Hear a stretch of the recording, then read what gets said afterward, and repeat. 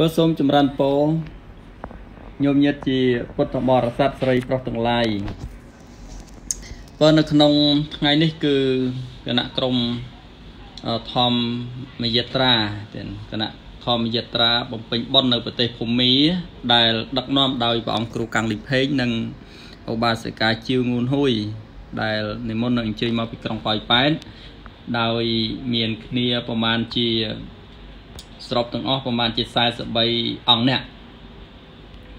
ហើយសូមចម្រើនពរថាថ្ងៃនេះគឺជាថ្ងៃទី1នៃការអឺនិមន្តនឹងអញ្ជើញមកដល់ទីកន្លែងបំពេញបុណ្យនៅក្នុងប្រទេសភូមាចម្រើនពរមិនមែនជាថ្ងៃទី1នៃការមកដល់ប្រទេសភូមាទេតែជាថ្ងៃទី1នៃការបាននិមន្តនឹងអញ្ជើញបំពេញបុណ្យដូចជាការថ្វាយបង្គំចេតិយជាដើមបា ទតួយ៉ាងនៅក្នុងថ្ងៃនេះក៏គឺប្រព្រឹត្តទៅនៅក្នុងណាថ្ងៃអឺទី6ខែឧសភាឆ្នាំ2019នៅវេលាម៉ោង6:06នាទី គឺក្រុមគណៈធម្មយាត្រាដែលដឹកនាំដោយព្រះអង្គគ្រូកាំងលីផេងនិងឧបាសិកាជីវងូនហ៊ួយបាននិមន្តនឹងអញ្ជើញមកថ្វាយបង្គំនៅ ប្រជេតដីមួយ ដែលមានឈ្មោះថាឧបាតសន្តិចេតីបើបើចេតីនឹងមានឈ្មោះថាឧបាតសន្តិចេតីបើអញ្ចឹងសូមញោមញាតជាពុទ្ធបរិស័ទស្រីប្រុសទាំងឡាយអញ្ជើញមើលទៅបើចេតីនេះមានរាងរូវរូបរាងសន្តានអីហ្នឹងគឺស្អាតមែនតើញាតិញោមគឺស្អាតគួរជាទីជ្រះថ្លាណាស់បាទហើយអាត្មាខ្ញុំកណាអាត្មាសូមអធិស្ឋានផងគឺ ខ្ញុំកណាអាត្មាហ្នឹងមិនស្គាល់ប្រវត្តិរឿងរ៉ាវនៃចេតិយនឹងអីទេទេណាគ្រាន់តែថាដោយសេចក្តីជ្រះថ្លាបាននិមន្តមកដល់ហើយក៏ចេះតែថតវីដេអូឬក៏អីខ្លះអញ្ចឹងទៅដើម្បីបានជាទស្សនីយភាពបានជារូបភាពខ្លះខ្លះគ្រាន់នឹងញ៉ាំងសេចក្តីជ្រះថ្លារបស់ខ្ញុំករណាដោយផ្ទាល់ផងនិងដើម្បី ជួយញ៉ាំងនៅសេចក្តីជ្រះថ្លារបស់ពុទ្ធបរិស័ទឬក៏អ្នកទស្សនានៅវីដេអូឃ្លីបដែលបង្ហោះនៅក្នុង Facebook របស់អាត្មាភាពនឹងផងដែរបាទបើអាត្មាសូមបញ្ជាក់សារជាថ្មីញាតិញោមអឺនេះគឺចេតិយមួយដែលមានឈ្មោះថាឧបាតសន្តិបើឧបាតសន្តិចេតិយនេះមានឈ្មោះថាអញ្ចឹងដែលស្ថិតនៅបើ ដែលស្ថិតនៅទីក្រុងនេវីដរណាញោមស្ថិតនៅក្នុងទីក្រុងនេវីដរអឺដែលជាទីក្រុងថ្មីឬរដ្ឋធានីថ្មីនៃសហភាពមីយ៉ាន់ម៉ាតែយើងហៅថាប្រទេសភូមាប្រទេសភូមានឹងឯងបើចេតិយនឹងមានរាងរើដូចគ្នានឹងសវណ្ណចេតិយដែលយើងហៅថាស្វេដកុង បើចេតិយឬក៏សឹងកុត្រៈចេតិយដែលស្ថិតនៅឯទីក្រុងរ៉ាំងគូនឬចាំងគង់បើដែលស្ថិតនៅដែលជាចេតិយមាសបើដែលកណាគុណចាស់ញាតញោមអីធ្លាប់ស្គាល់ធ្លាប់ឃើញហើយគេហៅថាជាចេតិយមាសចេតិយមាសហ្នឹងដែលមានកម្ពស់ហ្នឹងខ្ពស់បើខ្ពស់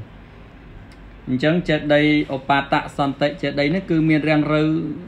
ស្រដៀងគ្នាមែនតើណាមានរាងរូវស្រដៀងគ្នាមែនតើណារាងរូវ ចេតិយទាំងកម្ពស់ហ្នឹងឬ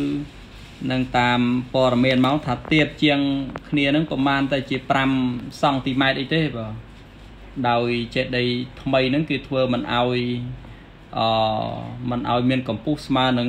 សវណ្ណចេតិយឬក៏ស្វេដកុងចេតិយដែលស្ថិតនៅទីក្រុងរ៉ាងគូនឹងទេ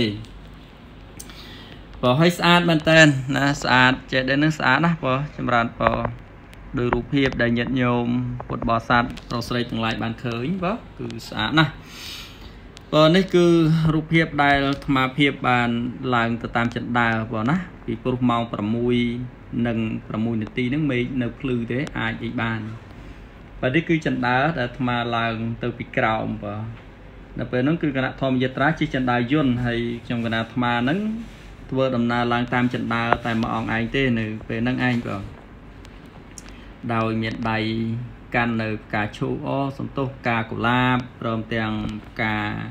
ដូចជាផ្កាអីទេគេដោតនឹងខ្សែបានទៅចាប់អារម្មណ៍ដែរបើនឹងឯងឲ្យបានថតភ្ជាប់មកជាមួយនឹងដែរបង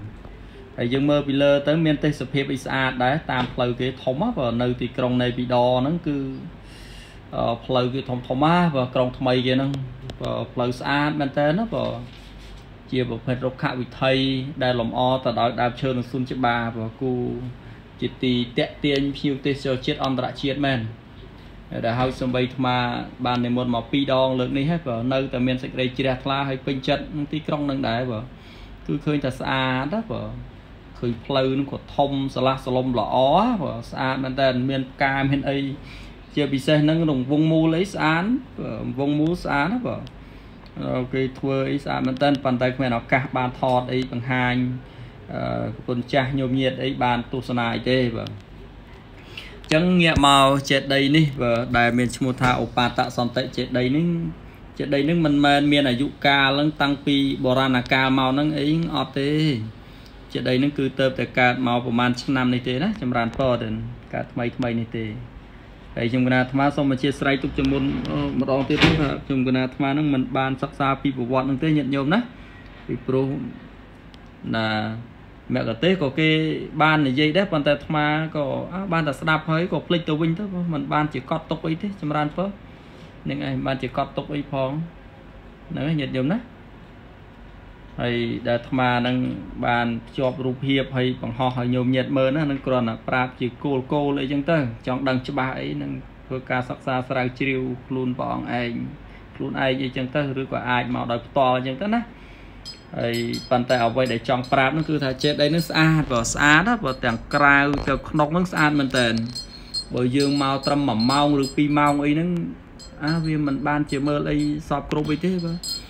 ក៏ព្រោះក្នុង1ម៉ោងហ្នឹងគ្រាន់តែប្រតិសិនហើយនមស្ការហ្នឹងវាមិនតឹងនឹងគ្រប់ផងហើយចុះតម្រាំបើយើងដើរមើលអីទីហ្នឹងគឺមិនងាយទេបាទ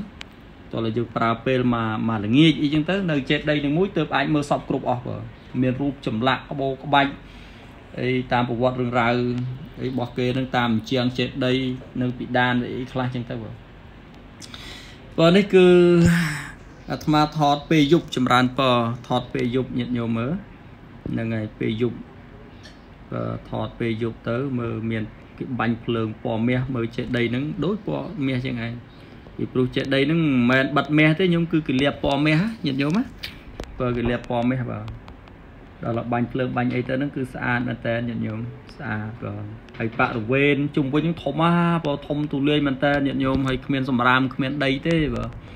គឺតែយើងអង្គុយតាណាក៏ស្និទ្ធដែរណាញាតិញោមបាទស្និទ្ធតែម្ដងបាទហ្នឹងហើយ ញាតិញោមណាមានបំណងអីចង់អញ្ជើញមកក៏អញ្ជើញមកទៅមិនអស់ប្រមាណអីទេនឹងឯងហើយបានឃើញបានស្គាល់ហើយអាត្មាជឿជាក់ថា